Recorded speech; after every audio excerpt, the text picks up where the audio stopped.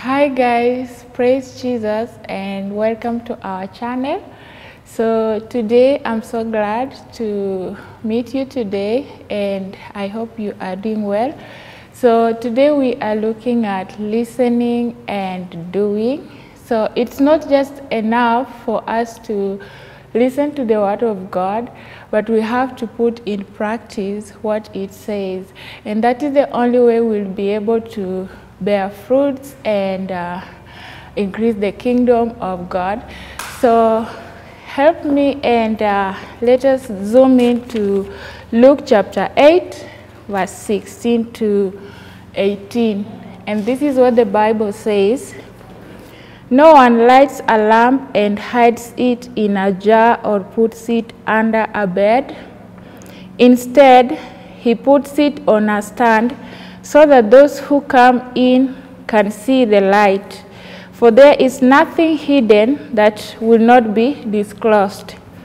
And no one, or sorry, or nothing concealed that will not be uh, will not be known or brought out into the open. Therefore, consider carefully how you listen. Whoever has will be given more. Whoever does not have, even what he thinks he has, will be taken away from him.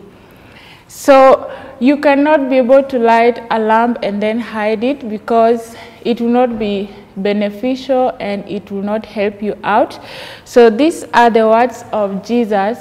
And when the light of the truth, the light of Jesus Christ, when it illuminates our souls, it, uh, it helps us as Christians uh, to have the duty to go out there and shine the light and help other people.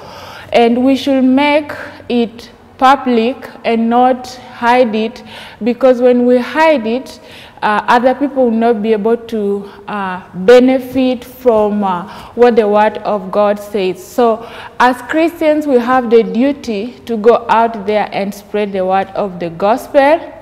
And also remember that we have the opportunity to be able to go out there and shine the light to other people who are living in the darkness. And uh, also when uh, we apply the word of God in our lives, it helps us to grow and transform our lives as uh, Christians. And this is the principle of uh, growth. When you are reading the Bible and also sharing, you grow as an individual. You will be able to grow physically, mentally, and spiritually. For example, uh, someone who likes exercising, their muscles grow stronger.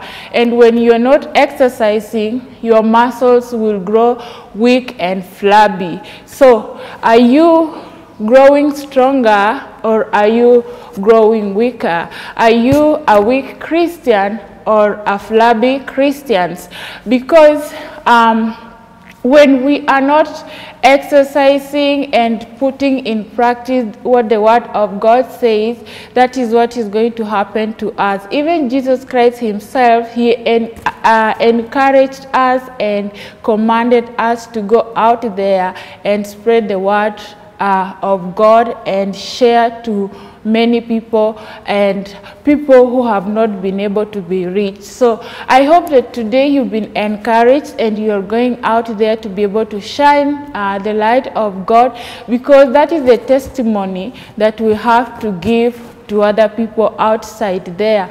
So today I just want to give you a uh, a question so that you can evaluate yourself uh, where you are in your Christian walk, in your Christian journey. So are you um, using what God has given you, the light that God has given you, the information that you've been able to learn so far to share with other people and shine the light of God.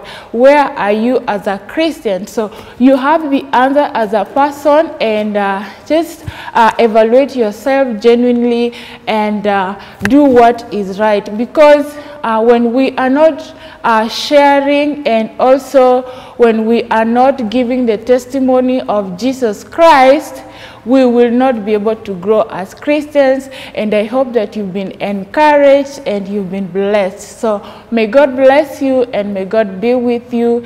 And I hope that you are going to have a great week and may you be blessed. Bye bye.